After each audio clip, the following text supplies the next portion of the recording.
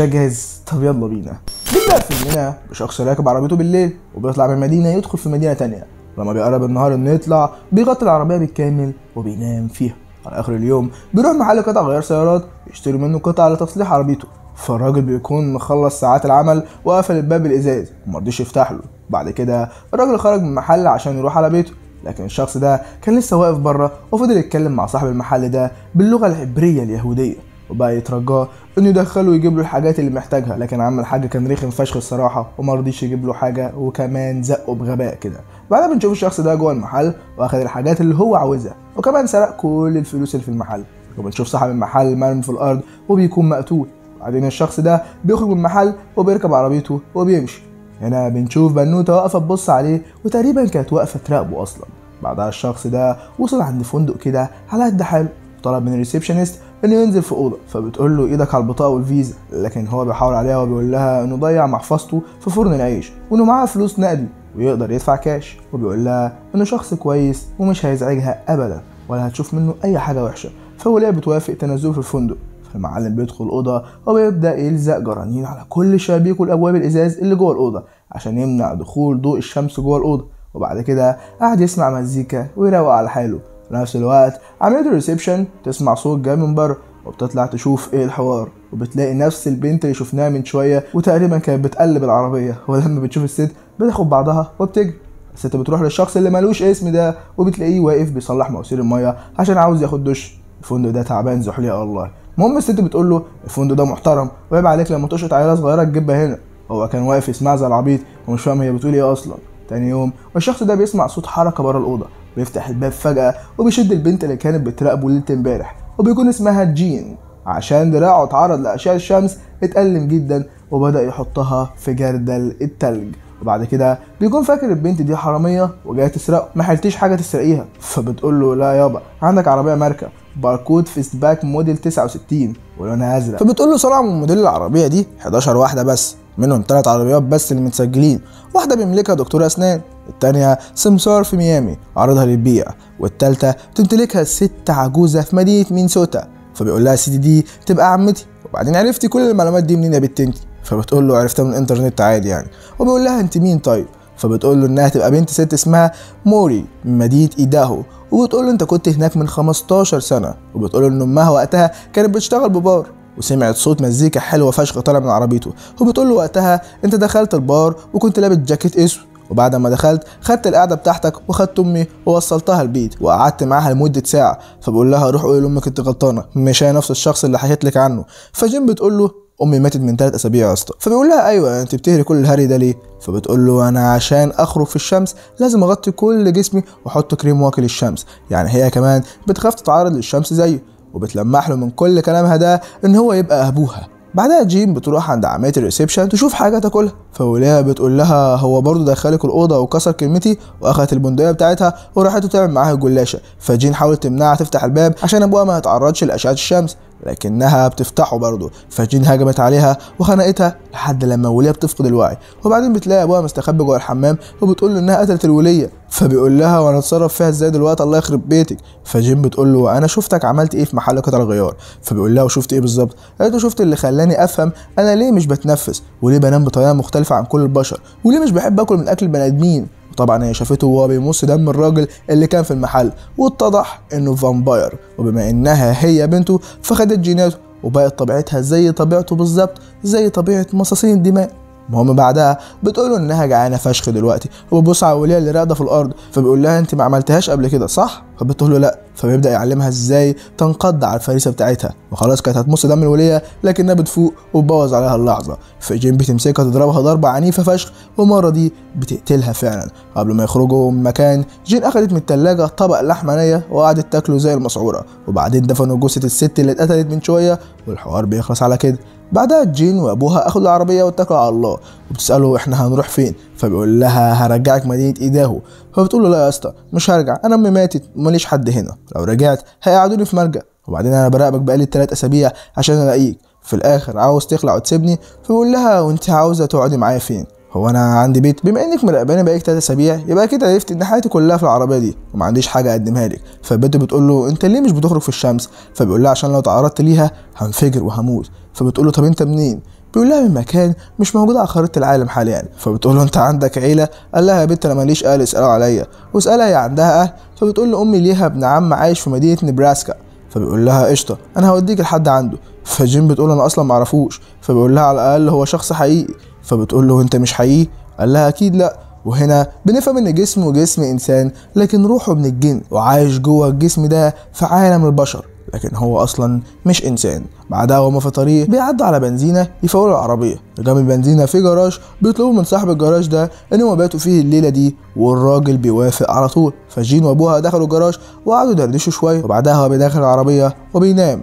وجين فتحت شنطة العربية وبتلاقي جواها حاجات كتير جدا من ضمنهم صندوق صغير كده. فالبنت أخدت الصندوق وفتحته وبتلاقي فيه كل ذكريات أبوها صورة وهو طفل صغير مع أهله فهو بيكبس عليها وبيقفشها وهي بتفتش في خصوصياته. وبعدين سألته هم أهلك دول فين؟ فبيقول لها ماتوا كلهم. بتقول له إزاي يعني؟ بيقول لها بعد ما حاولوا مصاص دماء بقى عاوزين يقتلوني ويتخلصوا مني لكن أنا كنت بستخبى منهم. وبعد كده بدأ يموت واحد ورا التاني لحد ما بيلاقي نفسه لوحده في الدنيا من غير هوية ولا عيلة. وبما إنه مش إنسان ما كانش عارف يتعايش في الدنيا لوحده بعد ما فقد أهله. وبيقول لها انه وقتها قابل شخصين هم اللي ساعدوه انه يعيش في الدنيا ويتعايش مع البشر عادي. بعدها هو وجين اتكلوا على الله وبيقول لجين هوديك عند قريب أمك تعيشي معاه. فالبنت اتعصبت جدا انه عاوز يتخلى عنها. وهو كمان بيتعصب جدا وبيقول لها أنا ما عنديش حاجة أقدمها لك. فجين بتنزل من العربية وبتسيبه وبتجري. فهو كمان بيدور العربية وبيمشي. عيلة مختلة عقليا وربنا. تاني يوم جيم بتروح عند قرايب أمها في نفس الوقت. أبوها كان بيلاقي إنها نسيت شنطتها جوه العربية. وبيفتحها وبيلاقي فيها كتاب مذكراتها وبيكون كاتبة فيه كل أحلامها. وقد إيه كانت بتحلم تلاقي أبوها ورسومات ليها هي وأمها وكده يعني. نرجع تاني الجن وقريبة أمها بتقول لها أنا ما أعرفش عنكم حاجة من زمان يا بنتي. والدنيا اتغيرت وحياتنا على قدنا وعايشة على المساعدات بتاعت الناس وزي حالات البت يا باشا. بعدها أبوها بيروح زيارة للست اللي اهتمت بيها زمان وساعدته بعد موت أهله وبيقول لها كل اللي حصل مع جين وإنها تبقى مسؤولية كبيرة عليه. لو وافق إنها تعيش معاه فبتقول له وأنا عارفة إنك شخص مسؤول وهتقدر تحميها من العالم ده وتخليها تفهم طبيعة العالم وتتعايش معاه. بدل ما هي هبلة كده بتتعامل على إنها شخص طبيعي وتخرج في الشمس وهتضيع نفسها بنت الكلب دي. فقال لها احترمي نفسك يا مدام نرجع تاني الجن وبتكون ماشية في الشارع لوحدها والدنيا جاية عليها. وبنشوف مجموعة شباب واقفين في الضلمة كده وشكلهم ما يطمنش نروح تاني للست وكانت بتحاول تقنع الشخص ده يوافق إن جين تعيش معاه. لأنه هيحتاجها لما يكبر في السن وإن هي هتبقى كل عيلته. وتقريبا كده اقتنع بكلامها. رجع تاني الجن وبنشوفها قاعد مع التلات شباب دول وكلهم كانوا سكرانين طينة فجين بتقوم من وسطهم وبتشوف حيوان كده مقلبز وشكله يفتح النفس فبتنقض عليه عشان تعضه فبيجي واد من الولاد دول وبيفسد عليها اللحظة. وكمان بدأ يتحرش بيها. فالبت فشخته ضربة حرفيا. وتاني يوم بنشوف التلات شباب مرميين فوق بعض ومقتولين وبنتنا جين نايمة جنبهم ووشها كله غرقان بدمهم اللي هي مصته بنت المفترية. بعدها بنشوف أبوها أخد عربيته وراح عند بيت قرايبها يسأل عنها. فالست بتقول له أنت مين؟ وتقرب ايه لجين فبيقول لها أنا أبوها. عاش يا اسطى أب رجولة والله. طبعا مش بيلاقيها وبيبدأ يلف في الشوارع. وأخيرا بيلاقي جين في وشه وبينزل ياخدها بالحضن الحضن ده اعتراف منه إن أبوها ومسؤول عنها. بعد كده جين اخدته الحظيرة اللي قتلت فيها التلات شباب وبتقول له هما اللي استفزوني يا بابي فعم الحاج ولع في الحظيرة باللي فيها واخد البت وخلعها. بعدها هما الجوز بيقعدوا في مطعم وجين بتسأل أبوها هنعمل إيه بعد كده؟ لكن هو ما كانش عنده إجابة ولا خطط أصلا. المفروض يعملوا إيه؟ سألها انت عاوزة نعمل إيه؟ عايزة نعمل إيه في حياتنا؟ بتقول له يبقى عندنا بيت وانت يبقى عندك وظيفة تخرج وتتعايش وسط الناس وتقول له عشان ده يحصل لازم يبقى عندك شهادة ميلاد ورخصة سواقة والحاجات دي. وبتقول لازم تتعايش في العالم ده على إنك شخص حقيقي. فبيقول لها إن ده ممكن يحصل بعيدا عن مدينة سامبيون كولورادو. وهنفهم دلوقتي هو عايز يعيش كشخص حقيقي بعيدا عن المدينة دي ليه؟ المهم بيقول لها انه من زمان اتعامل مع ناس نصابين بيزوروا شهادات ميلاد بيقول لها من كام سنة بوظت كل حاجة وبيقول لها انه كان ماشي بالعربية وفجاه نفسه جعان فنزل ياكل أول شخص شافه بعد ما عضه اتضح انه مدير معسكر لقوات الجيش وبيقول لها انه بعد العضة دي الراجل بقى شبه مجنون وتحول لمستشفى الأمراض العقلية من وقتها ما خرجش منها لأنه بقى خطر على نفسه وعلى كل اللي حواليه طبعا الخطة إن جين تدخل المستشفى وتعمل نفسها قريبة روجر الضابط المجنون وتطلب منهم الملف بتاعه عشان يعرفوا كل بياناته وبعد كده يضربوا شهادة ميلاد لأبوها باسم وبيانات روجر ده. وطبعا كل اللي بيحصل ده في مدينة في مدينة سيبنام اللي لسه قايلنا من شوية. عشان كده هو عاوز يسرق بيانات روجر ويعيش بيها في مدينة تانية عشان ما يتقفش وكده فعلا جيم بتدخل المستشفى وبتسأل عن أحواله فالدكتورة بتقول له أخيرا ظهر له أهل. ده من وقت ما دخل المستشفى محدش بيسأل عليه وفقدنا الأمل إنه عنده عيلة أصلا والدكتورة بتقول لها تعالي شوفيه مش معقول تيجي لحد هنا على الفاضي يعني؟ فعلا جيم بتدخل تقابله وروجر بتبقى حالته صعبة جدا لكن هو بيعرفها بيقول لها أنت بنته صح؟ نظرتك زي نظرته وريحتك زي ريحته بالظبط. وبيقول إنه من وقت ما عضه وهو فاكر ريحة نفسه وشكل أسنانه. وبيقول لها إنه معرفش يكمل اللي بدأه اللي هو يعني عضه بس ما قتلوش بسبب ظروف حصلت. وبيقول لها هو بعتك دلوقتي تكمل اللي هو بدأه صح؟ فالبنت بتقول له لا يا عم أنت فاهم غلط وبتقوم تمشي. فبيقول لها قول أنت عاوزه إيه وأنا أعمله في مقابل إن أدوق طعم لحمك. فالبنت بتقول له إنها عاوزة الإثباتات الشخصية بتاعته. فهو بيقول لها وأنا هقول لاداره المستشفى تديها لي. فعلا جيم بتحط صوابعها على لسانه وبيدوق طعم لحمها وبيكون مبسوط جدا. وبعد كده جيم بتخرج من المستشفى بالأوراق بتاعته.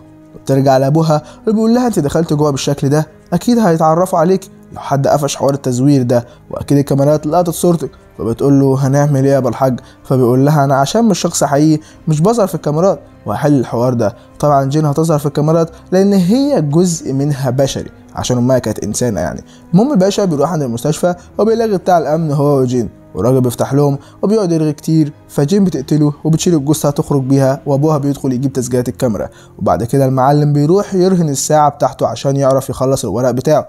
وكمان بيروح يشتغل في ورشة تصليح سيارات عشان يجمع مبلغ كبير إنه يقدر يجيب بيت. وبعدين البت جين بتخلص له حوار تزوير الورق ده. وأخيرا بقى عندهم بيت وهو يقدر يتحرك وسط الناس كأنه شخص حقيقي وبقى اسمه روجر. بعدين جين وروجر قعدوا في بيتهم يتعشوا بطبق لحمة نية وبدأت تقول له إنه لازم يغير style لبسه بدل ما هو شبه عصابات المافيا كده. تاني يوم روجر وجين بيروحوا يقدموا لها في الكلية عشان تكمل دراستها والحياة بقت فل الفل. وهناك المسؤول عن الخدمة الاجتماعية بتدي لهم بطاقة فيها إرشادات إزاي العيلة تتعامل مع بعضها ويحافظوا على الترابط الأسري. بعدها روجر بيكون مكتئب وهم الدنيا فوق دماغه وعمال يسكر.